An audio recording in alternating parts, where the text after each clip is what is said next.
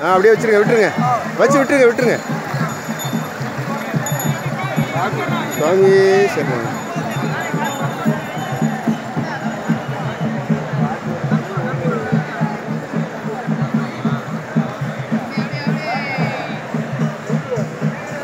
Thank you.